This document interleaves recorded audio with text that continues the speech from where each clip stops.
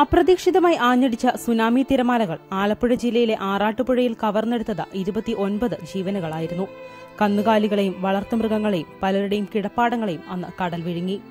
സർവതും നഷ്ടപ്പെട്ട ജനങ്ങൾക്കായി മൂവായിരം വീടുകളാണ് പുനരധിവാസ പദ്ധതിയിൽ പണി തുടങ്ങിയത്.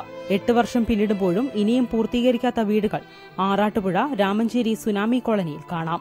പൂർത്തീകരിച്ച വീടുകൾക്കാവട്ടെ ഗുണമേന്മയില്ലെന്നും പരാതിയുണ്ട്. ഞങ്ങൾക്ക് കറണ്ട് ഇല്ല. മേൽ വാഷ് ചെയ്തിട്ടില്ല. ഞങ്ങൾക്ക് ഞങ്ങളുടെ പെരയൊന്നും പൂർത്തിയായില്ല. പെരയെല്ലാം ഇടിഞ്ഞു ഒഴിഞ്ഞു കിടക്കുക ഇവിടെ നിന്ന് വന്ന ആളുകൾക്ക് ഇവിടെ വീട് വെച്ച് സ്വന്തമായിട്ട് സാധനം ഇറക്കി ചെയ്യാനത്തില്ല കോൺട്രാക്ടർമാരെ ഏൽപ്പിച്ച്. അവർ ചില ആളുകൾ എല്ലാവരെയും ഞാൻ പറയുന്നില്ല ഈ പേരെടുത്ത് പറയാൻ അറിഞ്ഞുകൂടാ. ചില ആളുകൾ ഈ പാവത്തങ്ങളെ കളിപ്പിച്ച് അതാണ് ഈ ഫൗണ്ടേഷൻ ഇങ്ങനെയൊക്കെ കിടക്കുന്നത്.